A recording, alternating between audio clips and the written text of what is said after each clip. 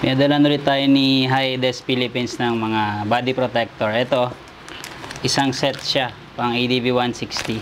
Pero hindi ko siya ilalagay lahat. Ang lalagyan ko lang ngayon, yung mga parts ng fairings na ADV na madaling magasgas. Halimbawa dito, pag nakatapak yung OBR nyo, syempre magasgasan to. Lagyan natin, meron siyang protector para dito. Tapos dito rin, pag nakatapak yung paa nyo, lagyan natin dito. Tapos ang pinaka-importante sa akin yung deck pad. Kasi ito most commonly na nagagasgasan. Lalo kung naglalagay kayo dito ng mga gamit pag bumabiyahe kayo. Tapos meron din kasama na mud flap. Meron ding extra na adhesive na 3M VHB. Na para kung sakali na magkamali kayo, pwede niyang mapalitan ng 3M siya. Stickers ng Hides Philippines. Tapos ito sa susi natin ng mga ADV natin. Yan, dalawa.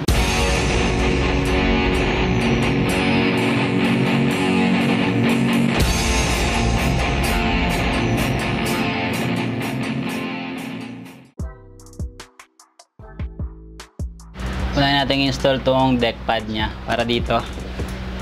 Meron naman niyang nakalagay na instruction sa likod. Yan, susundan nyo yan bago nyo idikit yung body protectors. So meron din siya dito. Nakalagay kung anong part siya, deck pad ito. Tapos kung anong motor, yan ADV 160. So ang ginawa ko kanina, hinugasan ko muna yung motor. Pinaliguan ko muna para tanggal yung mga oil, mga dumi, tapos bago natin i-install yung mga body protectors, linisan pa natin yan ng alcohol para sure ball na wala talagang mga langis-langis sa pagdidikitan natin. Make sure lang natin na malinis yung pagdidikitan. Tapos microfiber cloth.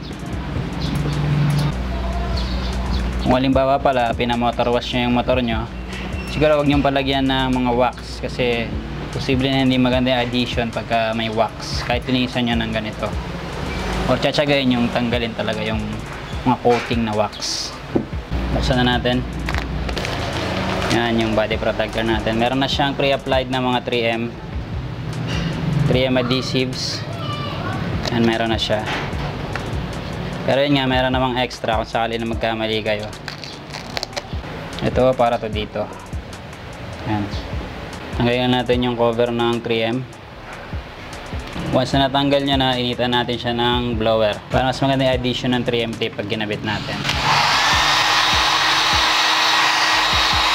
Initan ko lang na mabuti para sure ball.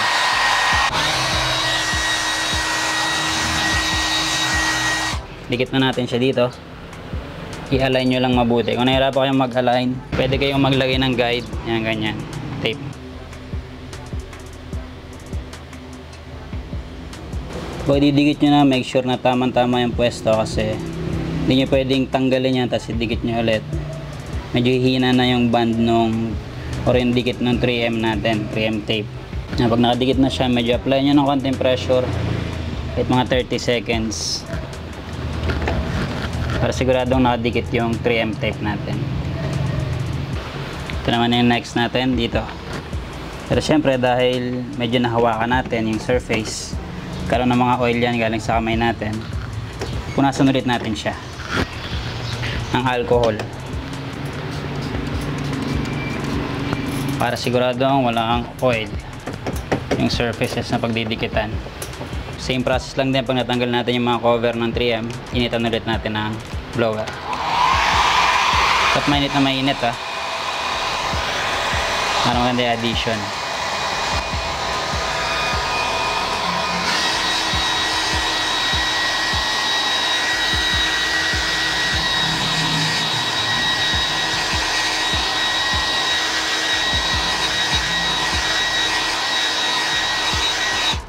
align lang natin.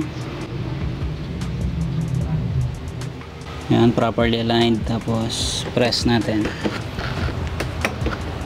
For 30 seconds. Sige natin. Maangat. Na medyo mabigat siya pagka dito. Pero at least umangat siya. Kinabit ko na isa. Ito na lang yung kakabit natin. Last one. Same process. Punas ulit yung pagkakabitan ng surface Pagnitan yung 3M.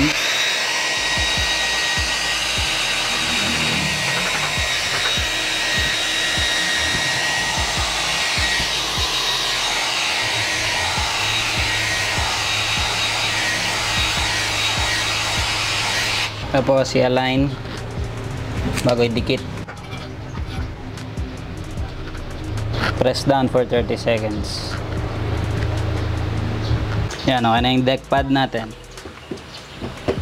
Pagka ganyan, after nyong dikitan, huwag nyo munang babasahin yung motor ng mga 2 days para mag-cure yung 3M tape para mas maganda yung addition. Huwag mo nang babasahin, huwag nyo munang gamitin ng umulan.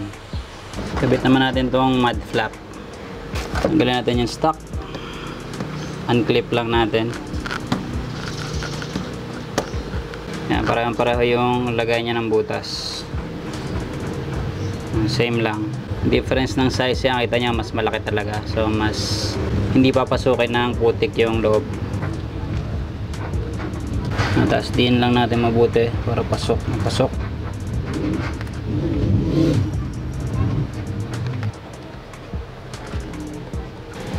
Yan, okay na yung mud flap natin. Kabit naman natin tong middle side para dito. Side na to. Ayan, pag ganyan yung pwesto niya. Ayan, pag. Para pag tumungtong na yung OBR nyo, ito tatama yung sapatos niya. Dito. Tanggalin natin tong cover ng 3M. Ingisa ng alcohol yung pagkakabitan. Ingita natin yung 3M tape.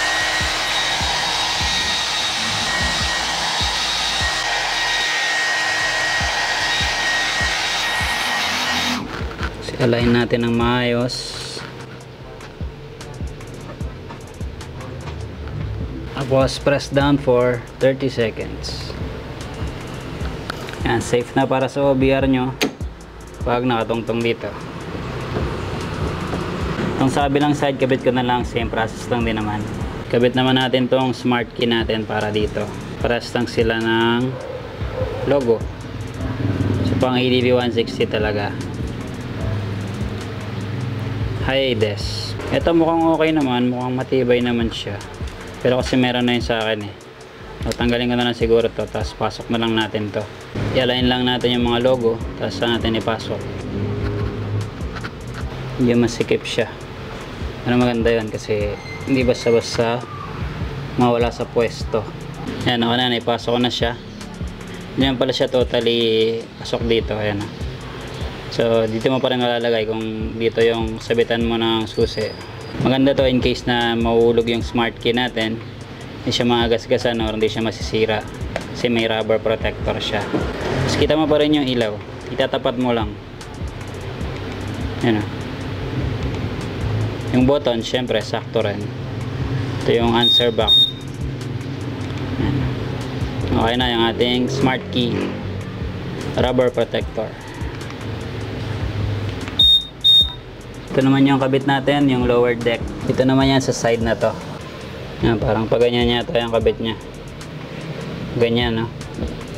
Oh, tama, pag ganito. Ngayon, kung medyo nalilito kayo sa orientation, pwede nyo naman tingnan sa Shopee nila ang Hides Philippines para makita nyo yung tamang orientation ng pagkabit. Yan pala yung mga kulay niya, blue na accent, red accent. So, ito yung napili ko, yung gray accent meron ding yellow. Tapos ito yung full black. Pwede kayong bumili ng full set nito. Na nasa 7,470 yung full set. Pwede rin na per piece kung ano lang yung kailangan nyo or kung ano lang yung gusto nyo ikabit. Yan, pwedeng yan lang ang bilhin nyo. Bawa ito. Sa 480 siya. Yan, yan siya. Middle side. Nakompleto yan pang ADV 160 pwedeng full set pwedeng per piece. Alagay ko na lang yung link sa description ng shop nila sa Shopee.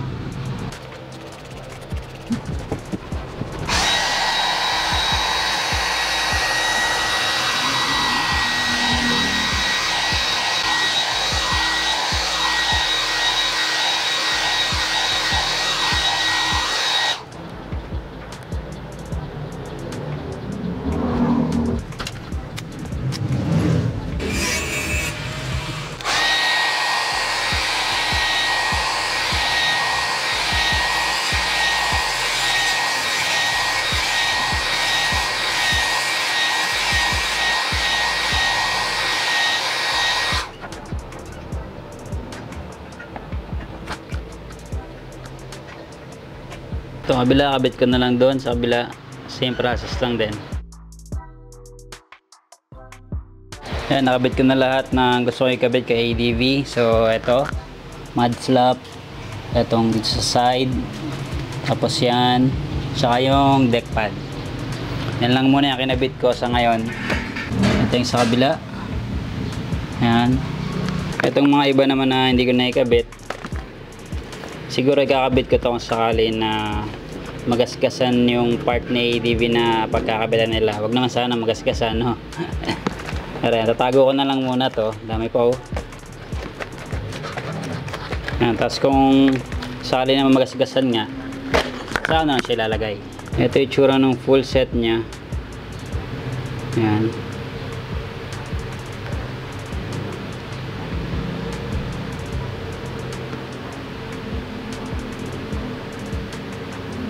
Ko naman yung link sa description yan kaya makikita nyo kung ano yung tsura nung kapag full set. Pati yung Facebook ng Hides Philippines, lagay ko din.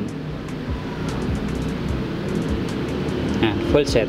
Saan ito lang nilagay ko kasi yan yung priority ko na hindi magagasgasan na usually nagagasgasan nga kasi tatapakan yun, lagyan ng gamit. Yan, para sa akin okay na yan. Thank you ulit kay Hides Philippines.